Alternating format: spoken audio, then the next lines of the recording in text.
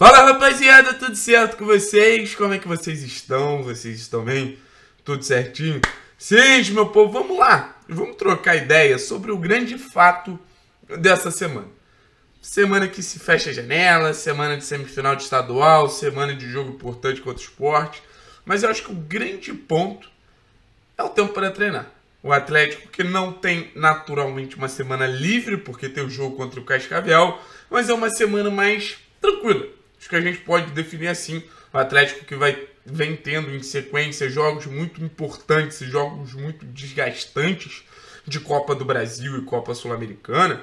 Olha para essa semana com uma tranquilidade maior ao ponto de parar, poder pensar, poder se imaginar o seguinte: agora a gente vai poder trabalhar o que a gente não vem conseguindo trabalhar, sabe? Essa sequência muito desgastante, esse calendário muito intenso que o Atlético ele se propõe a ter, né?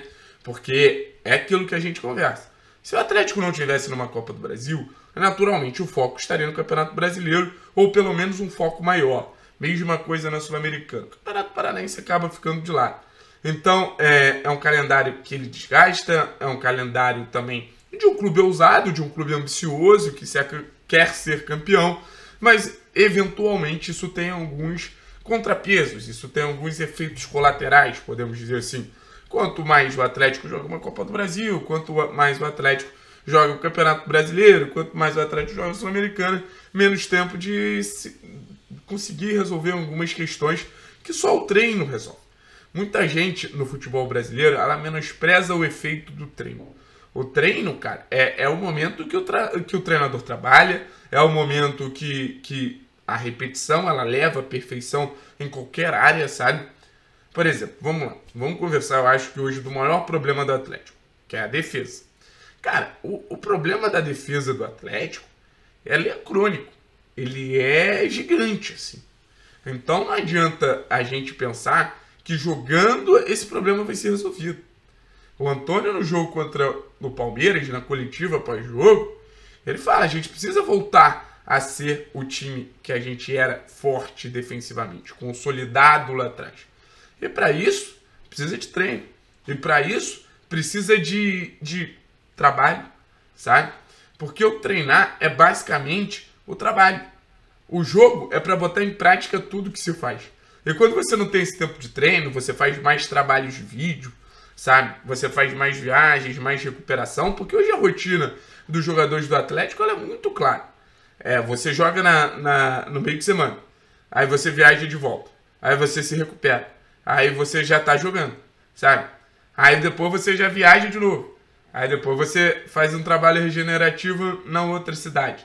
Trabalho de bola, trabalho, por exemplo, pra gente definir, cara, o Pedro Henrique precisa ser barrado, como a gente já conversou, sabe?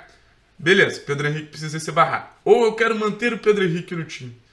Eu preciso ter uma semana de treino, pelo menos, para entender. Porra, eu vou tirar esse jogador daqui, eu vou trocar essa peça, mas por que eu estou tirando essa peça? Essa peça ele não está bem no jogo aéreo. Então eu vou começar a fazer um trabalho de jogo aéreo, cobrar 50 escanteios, vou cobrar 60 é, faltas. E esse cara ele vai testar vários movimentos, vai testar vários mecanismos para ele melhorar. Porque é muito simples a gente ver um jogador em uma fase, um jogador que não está rendendo, e alguns jogadores não estão rendendo no Atlético, tá? E, e a gente querer descartar esse jogador, sabe? Então, o Pedro Henrique é um exemplo, o Richard pode ser outro exemplo. Cara, não tá ajudando na saída de bola? Tenta uma saída de bola pelos lados, tenta uma saída de bola por dentro, testa, repete, bota o trabalho em dois horários, sabe?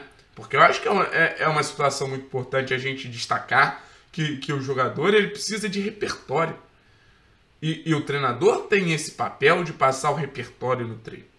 Repertório, como a gente fala, em momentos defensivos, mas momentos ofensivos também. Melhorar nossa bola parada ofensiva, melhorar nossa, nossa troca de passes, os jogadores se encontrando mais fácil. O treino também tem essa questão de, de você aprimorar o entrosamento dos jogadores passarem a se conhecer mais. É um Atlético que se reformula no meio para o final da temporada, sabe? É um Atlético que recebe um Jader, é um Atlético que, que tem o retorno do Bissoli, é um Atlético que vai se adaptando a um cenário ali até mesmo de uma mudança de modelo de jogo. Então vocês não acham que, que o treino ele precisa ser cada vez mais explorado para essa mudança ela ser aprimorada? Imagina na cabeça do Fasson e do Pedro Rocha, dois jogadores que vêm sendo muito pedidos pela torcida nos últimos dias. Jogadores que eles têm essa, essa necessidade de passar mais tempo com o grupo para se adaptar ao estilo de jogo do time, mas também para ganhar uma capacidade física a ponto de competir. Porque, por exemplo, o Pedro Rocha contra o Palmeiras teve uma dificuldade imensa de competir. Óbvio, o adversário era de um nível maior. Mas a gente imagina, o Pedro Rocha 80%, ele vai ter essa possibilidade de, de, de se encaixar e, e ajudar a equipe.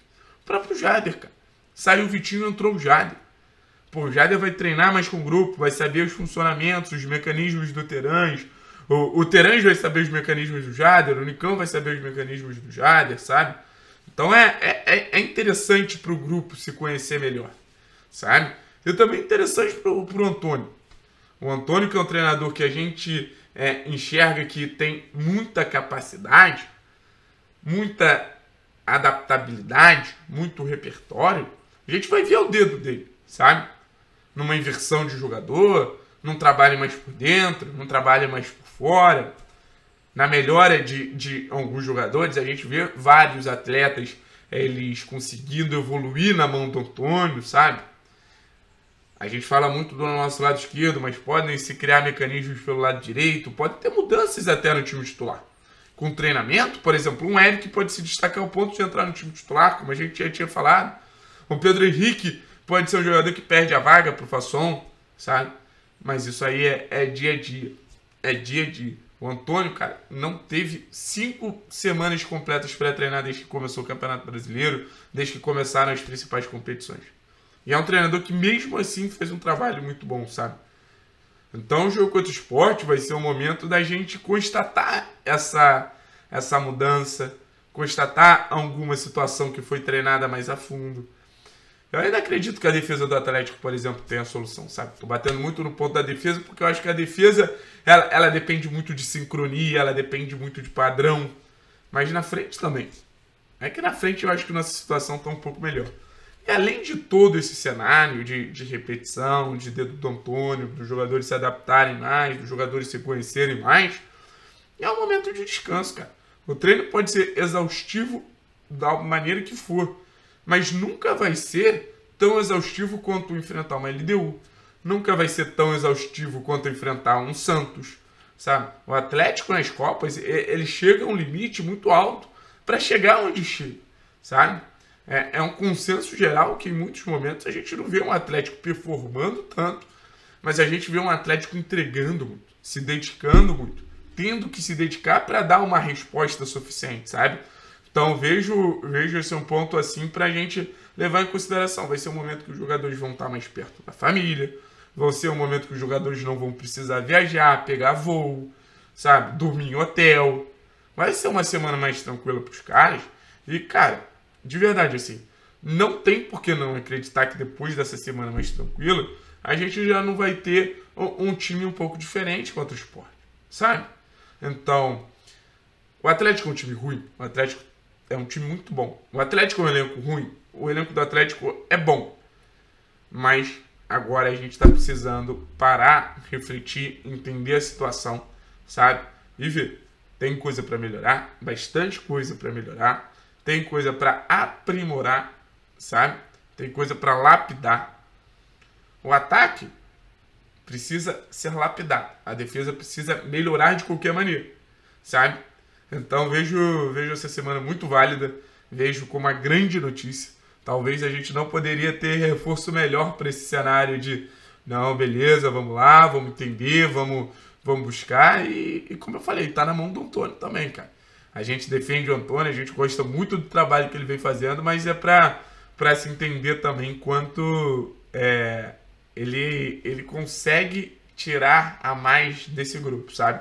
É um trabalho que já tem aí seus Cara, a temporada começou ali em março, já tem seus 5, 6 meses. Então, acredito que é um trabalho que, que tem um, um, saldo muito positivo, mas ainda acho que pode ter algo a mais. E, e essas semanas e essas sessões de treino vão ser é, a grande chave para se buscar algo a mais e ver um Atlético melhor na defesa, mais fluente no ataque, mais entrosado, mais capacitado, mais descansado. Beleza? Tamo junto a nós, viu?